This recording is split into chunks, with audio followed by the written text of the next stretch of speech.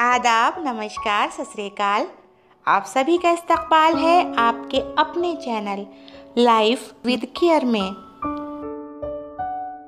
एक टुकड़ा कच्चा आलू ले लें और इसको मेरे बताए हुए तरीके के मुताबिक अपने चेहरे पर लगा लें। गर्मियों में भी आपका चेहरा लश्कारे मारेगा और रंग शर्तिया गोरा हो जाएगा। एक साफ़ प्याली लें और इसमें एक टुकड़ा आप ले लें आलू का। इसको धोकर छीले बगैर छोटे टुकड़ों में कट करें और डाल दें। एक छोटा चम्मच भरकर चावल डालें। घर में जो चावल यूज़ होते हैं, वही ले लें। छोटे साइज़ का आप लीमू ले लें, इसको भी दो टुकड़ों में कट करके डाल दें। थोड़ा सा पानी मिलाएँ, बिल्कुल तीन से चार चम्मच के बराबर, और ब्लेंडर में डालकर अच्छी तरह ब्लेंड कर लें।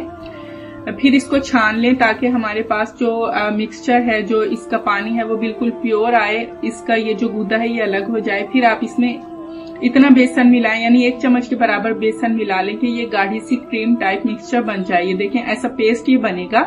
स्मूथ पेस्ट बनेगा।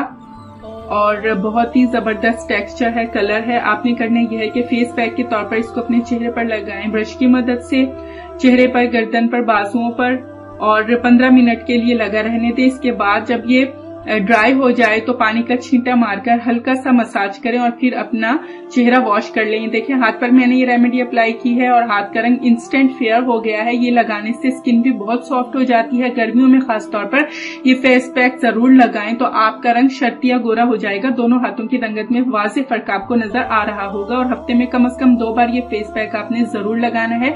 स्किन आपकी बेहद नर्मो मुलायम हो जाएगी, रंग भी फेयर होगा।